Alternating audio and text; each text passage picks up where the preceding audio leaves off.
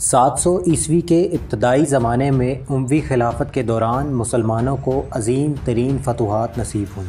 वलीद बिन अब्दुल मलिक के ज़माने में इस्लामी सल्तनत अरब से निकल कर सिंध, तर्किस्तान, चाइना, ख्वारज़म, यूरोप और अफ्रीकी सहराओं तक जा पहुँची। इन फतूहत में मूसा बिन नसीर और तारिक बिन ज़ियाद ने अपनी बहादरी का खूब लोहा मनवाया।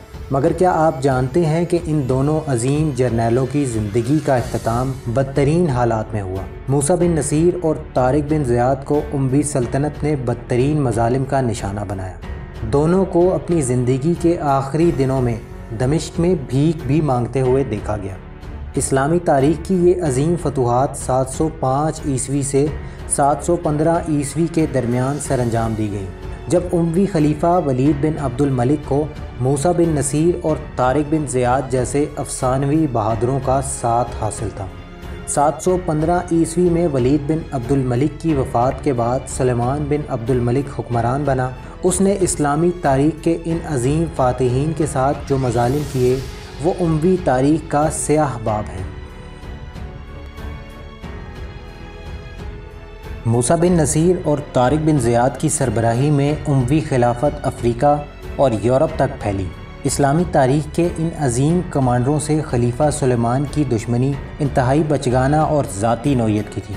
714 ईस्वी के इब्तदाई महीनों में जब मूसा बिन नसीर मगरबी अंदलस की फतूहत में मसरूफ़ थे तो उन्हें एक दिन अचानक खलीफा वलीद बिन अब्दुल मलिक का हुक्म मिला, जिसमें उन्हें फौरी तौर पर दारुलकूमत तलब किया गया था। उस जंग के दौरान तारिक बिन ज़ियाद भी उनके हमरा थे। मूसा बिन नसीर ने खलीफा के हुक्म की तामील की और माल गनीमत समेत दारुलकूमत की तरफ़ सफ़र का आगाज़ कर दिया। तारीख की किताबों में लिखा है कि इस सफ़र में मूसा बिन नसीर के पास इतना माल गनीमत था कि पूरा इस्लामी लश्कर मिलकर भी इसका हिसाब किताब नहीं लगा सका था। मूसा बिन नसीर जब दारकूमत की तरफ़ सफ़र कर रहे थे, रास्ते में एक ऐसा वाक़ पेश आया जिसने इस अजीम जर्नैल की आने वाली ज़िंदगी का फ़ैसला किया। हुआ कुछ यूँ कि उस सफ़र में मूसा बिन नसीर को खलीफा वलीद के भाई सुलेमान बिन अब्दुल मलिक, जो उस वक्त वली अहद था और वलीद के बाद खिलाफत उसके पास आनी थी, का ख़त मिला, जिसमें सुलेमान ने मूसा बिन नसीर को अपना सफ़र मुलतवी करने या रफ्तार आहिस्ता करने का हुक्म दिया। सुलेमान ने यह हुक्म इसलिए दिया था क्योंकि खलीफा वलीद उस वक्त सख्त बीमार था और ज़िंदगी के आखिरी दिन गुजार रहा था। सुलेमान ने सोचा कि अगर मूसा बिन नसीर माल गनीमत खलीफा की ज़िंदगी में ही ले आया तो उसको कुछ नहीं मिलेगा। इसलिए उसने मूसा बिन नसीर को सफ़र आहिस्ता करने की हिदायत की। मगर मूसा बिन नसीर ने ऐसा ना किया, बल्कि उन्होंने अपने सफ़र की रफ्तार मज़ीद तेज़ कर दी। मूसा बिन नसीर खलीफा वक्त से अपनी वफादारी निभाना चाहते थे, और यही चीज़ उन्हें महँगी पड़ी। तारिक बिन ज़ियाद ने भी अपने कमांडर के फैसले का साथ दिया। 714 ईस्वी के आखिर में अजीम शान लश्कर के साथ मूसा बिन नसीर दमिश्क पहुँचे। उन्होंने सारा माल गनीमत खलीफा वक्त को पेश किया। खलीफा वलीद इतना खुश हुआ कि उसने मूसा बिन नसीर और इसके लश्कर को अनवा अकराम से माला माल कर दिया। मगर मूसा बिन नसीर के ये अच्छे दिन ज़्यादा देर तक ना चल सके। चंद माह बाद खलीफा वलीद का 715 ईस्वी में इंतकाल हो गया। और वली अहद सुलेमान को तख्त मिल गया। सुलेमान बिन अब्दुल मलिक को जब हुक्मरानी मिली तो उसको मूसा बिन नसीर से हुकूमदूली का बदला लेने का मौका मिल गया। उसने हुकूमत संभालते ही पहला काम तो ये किया कि सबसे पहले मूसा बिन नसीर और तारिक बिन ज़ियाद को फ़ौज से निकाल बाहर किया। फिर खलीफा सुलेमान ने मूसा बिन नसीर जैसे अजीम कमांडर को सजा के तौर पर धूप में खड़ा कर दिया। मूसा बिन नसीर ने इस सारे अरसे में ना तो बादशाह की खुशामद की और ना ही माफ़ी तलब की। वो अपने मौक़ पर डटे रहे और तमाम तर जुल्म सहते रहे।